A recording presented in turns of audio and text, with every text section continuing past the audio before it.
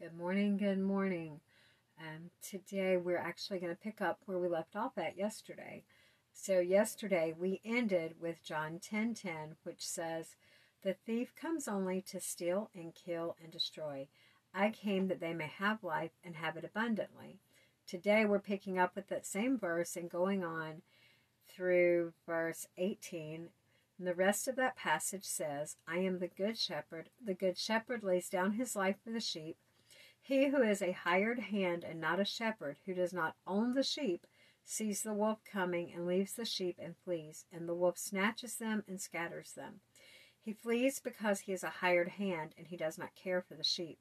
I am the good shepherd. I know my own, and my own know me. Just as the Father knows me, and I know the Father, I lay down my life for the sheep. And I have the other sheep that are not of this fold. I must bring them also, and they will listen to my voice. So there will be one flock, one shepherd. For this reason the Father loves me, because I lay down my life that I may take it up again. No one takes it from me, but I lay it down of my own accord. I have authority to lay it down, and I have authority to take it up. This charge I have received from my Father.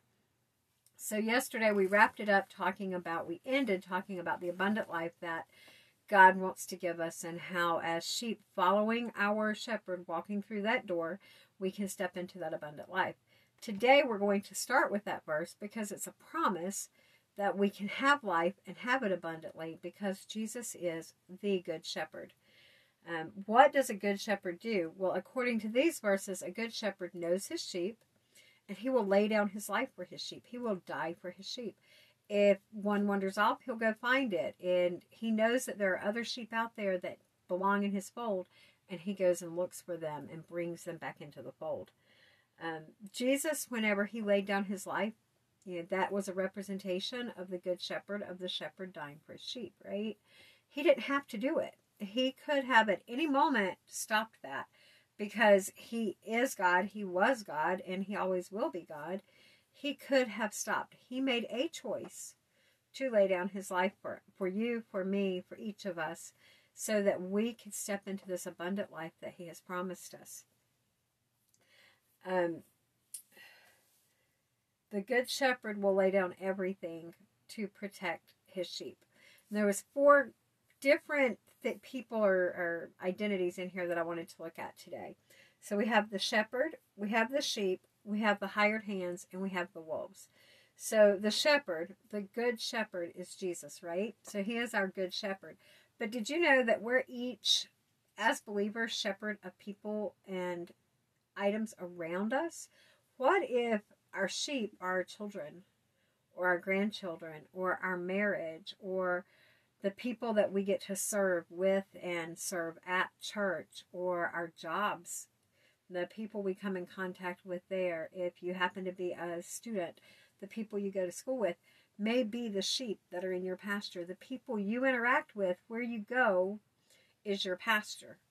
And the people you're interacting with are sheep that God has given you a chance to be a shepherd for and to teach them and train them and love on them and meet them where they're at and show them His love just by the way you live your life. It's not about having to preach, but just by being there and loving people, we get to shepherd people. Um, so, yes, Jesus is the good shepherd. He is the ultimate shepherd that we run to and we turn to, but we each are called to lead people that are in our lives, to share the gospel with the people around us. That doesn't require a degree. It doesn't require being called as a pastor, being uh, you know anointed, appointed, commissioned, and all of that. Jesus commissioned us. He said, "Go into all the world and make disciples. He didn't say, hey, preachers go into all the world. He said, you, my disciples, my people, my followers, go into all the world, make disciples, teach them, baptize them. So, as believers, we are already commissioned to go out. So, that makes you a shepherd. So, what kind of shepherd are you? Are you a good shepherd that, not to take away from the good shepherd, guys, but are you a good shepherd that leads people? and shares Christ and prays for people and loves on people. I mean, and maybe, you know, the words aren't there for you yet. And I totally get that. For a long time, I had a really hard time being vocal about my faith with people. But you can love people and meet them right where they're at. um, so that they can see Jesus in you um, as you live your life day to day. And then sheep. So, what are the sheep? Well, in the Bible, in the passage, he's talking about us, right? The believers. But in your life, your sheep might be your children, your grandchildren, uh, nieces, nephews, your marriage. Um, you know, it could be the people that you work with. It could be your job. Sorry, guys. it could be any number of things that you come in contact with or that God has given you authority over in your life or that God has placed in your life. Like for me, you know, if I look at, at sheep in my life, my kids definitely. So what kind of shepherd am I to my children? Um, am I teaching them? Am I training them in the ways of the Lord? Am I leading them and guiding them and loving them so that they see Christ? My grandson, uh, people that I get to work with at my my job at the Y um, are, are sheep that are in my path that I get to be able to share Christ with, even if it's just by loving on them and meeting them where they're at. Uh, it's an opportunity that God's given me. Your marriage could be a part of your sheep herd, uh, and taking care of that marriage could be a very important part of your job as a shepherd. So today, take some time and kind of figure out what is it you're supposed to be shepherding in your life. Who are the sheep in your life you need to take care of? And sometimes some sheep will come into your pasture and then they're going to leave. They won't stay. Um, but while they're there, it's your job to take care of them. So, who are hired hands in this? Who are the hired hands um, in in our lives? And you think about the Bible says that the hired hands are the ones who they're there because they're paid to be there. They're not connected to, they don't know the sheep, they don't love the sheep. So if a wolf comes, they're going to take off, right? Some of us have hired hands in our lives. We can think of people who have come and gone in our lives who were there for a season when things were good, but when you really needed them, you couldn't count on them and they were out the door. Whether, you know, that's people that we considered friends or that may be other people from you know our past um, could be some of us it can be family that has jumped ship um, it could be friends it could be job situations different things where the person has left. Now the flip side of that is and this is a little bit of a hard question where have you been a hired hand in somebody's life? So you know you're there but then when they need you you're not there anymore. So you're not as invested in their lives. And you're not going to be as invested in everybody's lives. That's just the reality. I mean there are people that you're going to have in your in your pasture that you're going to invest in. And then there are people that you're going to have that are peripheral that you're not. But people who come in and you don't get to know them but you invest in them somewhat. But then, whenever the wolves come after them, you jump ship. Where has that been? And is there anywhere that you maybe need to repent? Uh, maybe talk to some people and ask for forgiveness. This hit me really hard um, as I was studying it.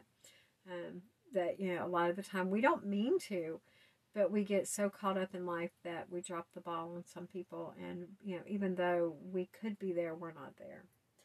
And then wolves. What would wolves in our lives be today? You know, we think a lot of the time when we think about wolves in our lives, we tend to think of false teachers and stuff, um, the big ones. And and that's possible. That's always a possibility, and we definitely want to watch out for that in our lives as we listen to different people, um, read different books, whatever, as you're seeking to grow in your faith. Definitely test anything anybody's teaching you against the Word of God and make sure that it stands up to the Word of God. But in this reference, we're talking about wolves in your daily life. And this could be people that come in and, and seek to steal your time. Um, you know, you have those people who are just time drainers. They nothing is you're never going to resolve anything with them and and it's the same thing. So, yeah, they become time drainers. That can be wolves in your life that's taking your time away that you need to be using to shepherd somewhere else. Um, so that's one form of wolf. But another type of wolf in our lives can be our fears. the things that we're afraid of can hold us back from stepping into the abundant life that God has for us. Um, the anxieties that we have can cause us to stay away from the abundant life God has for us. And the doubts that we have can be another wolf in our life. And the wolves are something that we're going to have to trust the Good Shepherd to fight back for us. You're going to have to run to the Good Shepherd, Jesus, who, and that's the title today, is the Good Shepherd. Run to the Good Shepherd so that he can meet you right where you're at in that moment, in that situation, and fight back off those wolves so that you can step into that abundant life. So today, we've learned that Jesus is the Good Shepherd, that we are his sheep, but that we're also shepherds of our own sheep. And that can be our families, our ministries, our jobs, any number of avenues of people that we interact with. We've learned that sometimes we have hired hands in our lives, people that are not really going to get to know us and invest in us. And we also are hired hands in people's lives sometimes. And maybe that's all we're meant to be, but if we were meant to be more, we might need to do a heart check. And we've learned that wolves can come in many different forms. That can be people, that can be things. Anything that can take us away from God is a wolf in our life. And guys, that can even be activities that distract you from what God has for you. So um, definitely do a check today to see where the wolves are in your life and what you might need to take to God, to surrender to God, and ask Him to help you fight that wolf. So we're going to pray. Um, I do want to, my dear friend Tiffany's baby um, was born on Sunday and is in the hospital. I would just like for you to join with me today as we pray for her and her baby. I'm not going to go into details, but God knows the need and He can touch and heal this precious baby. Daddy God, I come to you today and I thank you that you sent Jesus to be our good shepherd. Lord, that because we have him leading us, we can walk in the abundance of everything you have for us, Lord. And in that abundance is health and healing and wholeness. And Lord, today I come to you and I, I lift Bella to you, Lord, and I lift Tiffany and Jeremy to you, Lord. And I pray that you touch her little body, Lord, and you heal her completely from the tip of her head to the tip of her tiny little toes, Lord, and that you give mom and dad a peace that passes all reasonable understanding, Lord, that even as they're there in that NICU, Lord, that the nurses and the doctors will see the trust and the faith they have in you and be touched by that. That even now they're pulling that energy from one another, and Bella is feeling that faith in you, Lord, as you begin to touch and heal her body. Lord, I pray, Lord, that today you're with each person that's here, Lord, that you reveal those areas in our lives where we're not being good shepherds to the sheep that you've placed within us, or where we've been a hired hand when we should have been more, um, Lord, and that we were willing to forgive the hired hands in our lives when we feel like they've let us down. Uh, Lord, I pray too that you reveal the wolves in our lives that are keeping us from stepping into the abundance that you have for us. Thank you again for your son Jesus and for the, him being the good shepherd in our lives. In Jesus' name, amen. Have an amazingly blessed day, guys.